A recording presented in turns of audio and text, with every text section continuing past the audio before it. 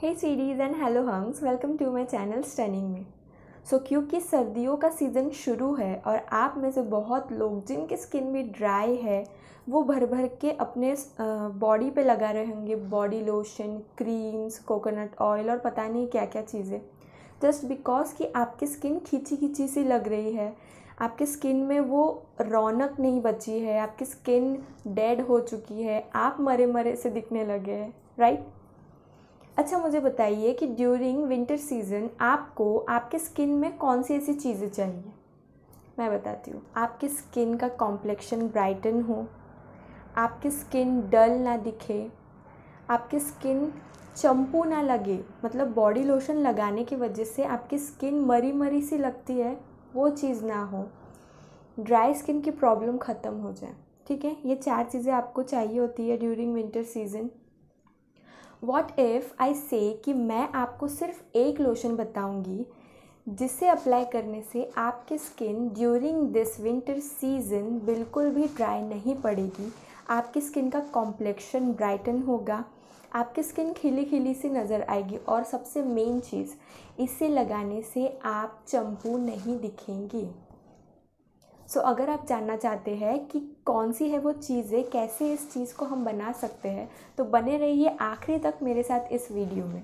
So without any further ado let's get start this video अगर आपने मेरे channel को अब तक सब्सक्राइब नहीं किया तो सब्सक्राइब कर दे और बेल आइकन को भी प्रेस कर दे ताकि आपको मिल सके मेरी वीडियो सबसे पहले।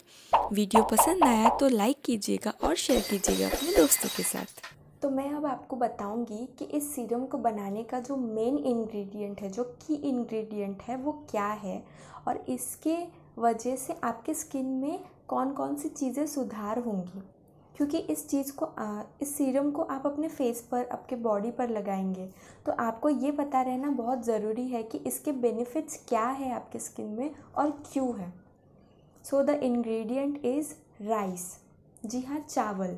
चावल हम सब खाते हैं बट जितना ये हमारी बॉडी के लिए अच्छा है, उतना ही हमारे स्किन के लिए भी बहुत अच्छा है। इसके अंदर भरपूर मात्रा में एंटीऑक्सीडेंट्स होते हैं, जो आपके स्किन में जो कोलेजन प्रोडक्शन है, उसको इन्हांस करता है। अब कोलेजन प्रोडक्शन को अगर इन्हांस करेगा तो आपकी स्किन का कॉम्प्लेक्शन ऐसे ही बढ़ जाएगा, और आपकी स्किन में जो एंटी एजिंग की प्रॉब्लम्स है वो भी धीरे धीरे कम होती जाएँगी।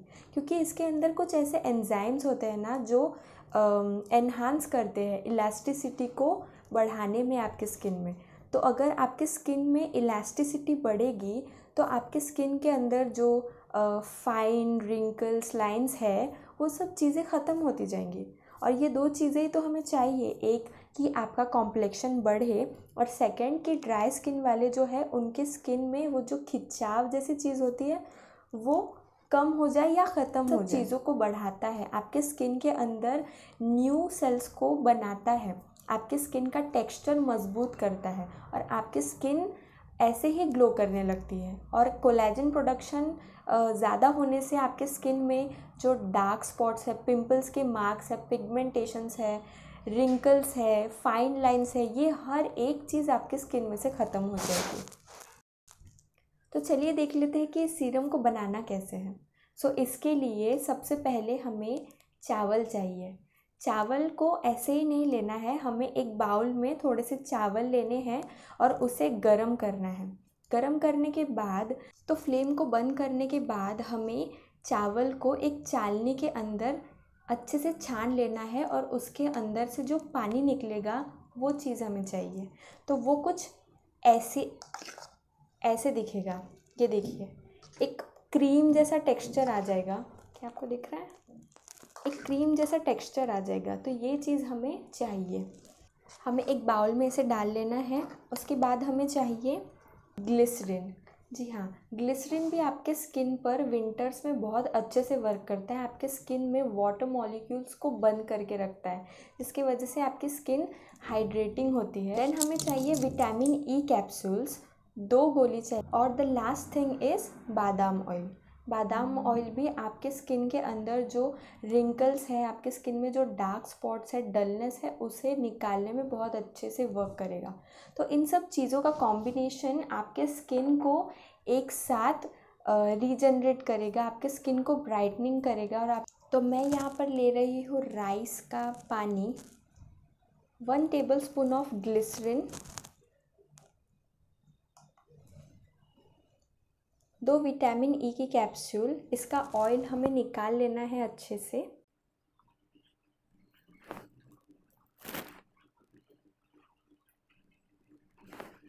और अब लास्ट में हमें डालना है आमंड ऑयल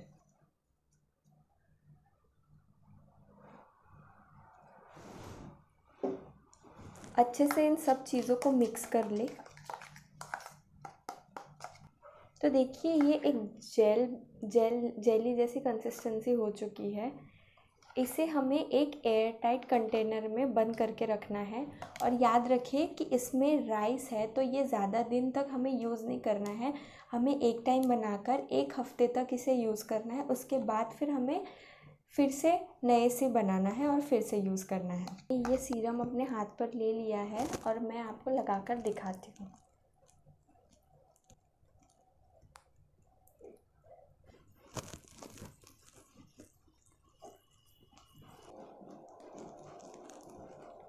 तो ये देखिए, ये मेरी स्किन पर अच्छे से एब्जॉर्ब हो चुका है तो रात को आपको आपके फेस के ऊपर अच्छे से इसे, इसी तरीके से अप्लाई करना है और फिर सुबह पानी से धो लेना है।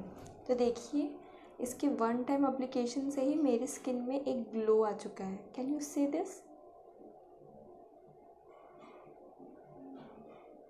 और बिल्कुल भी ड्राई नहीं लग रही, मेरी स्किन बहुत ही स्मूथ लग रही है। देखिए। देखिए एक भी दाग आपको नहीं दिखेगा मेरे स्किन के ऊपर। तो इसके डेली अप्लीकेशन से आपके स्किन में भी जितने भी डार्क स्पॉट्स हैं ना वो भी चले जाएँगे और आपकी स्किन बहुत ही सॉफ्ट सी फ्लपी सी हो जाएगी during this winter season so apply करने के बाद यूज़ करने के बाद ज़रूर मुझे कमेंट करके बताइएगा कि आपको ये सीरम कैसा लगा। सो so, आज के लिए इतना ही। तो see you in my next video bye bye